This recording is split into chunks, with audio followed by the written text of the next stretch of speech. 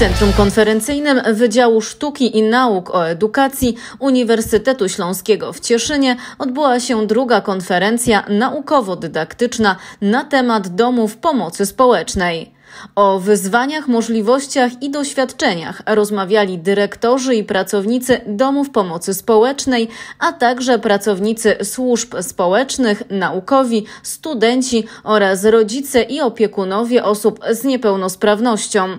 Gości przywitali dziekan Wydziału Sztuki i Nauk o Edukacji, doktor habilitowany profesor Uniwersytetu Śląskiego Krzysztof Marek Bąk oraz dziekan Wydziału Nauk Społecznych profesor doktor habilitowany Zenon Gajdzica. Myślę, że problematyka DPS-ów przedarła się do świadomości społecznej niestety podczas pandemii. Sam przyznam szczerze, gdzieś mocniej utkwił mi w głowie ten skrót, widząc jak newralgiczny jest to punkt w infrastrukturze państwa. Nie tylko społeczeństwa, ale państwa w ogóle. Mam nadzieję, że takie działania jak ta konferencja, jak Państwa spotkania, e, jak Państwa spotkanie e, z nami, wzajemna współpraca, współpraca pomoże ten newralgiczny element infrastruktury państwa wzmocnić w interesie nas wszystkich, bo każdy z nas może być pensjonariuszem e, takiej.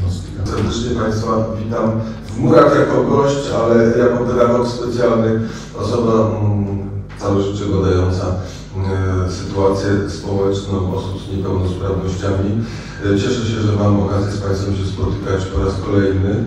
Wierzę, że konferencja przyniesie swoje owoce w postaci nie tylko interesującej debaty, ale także następstwa jakiegoś implikacyjnego w praktykę e, codzienności domów pomocy społecznej, a szczególnie osób, które w tych domach mieszkają. Dla portalu Śląska Cieszyńskiego XPL Marta Szymik-Telesz.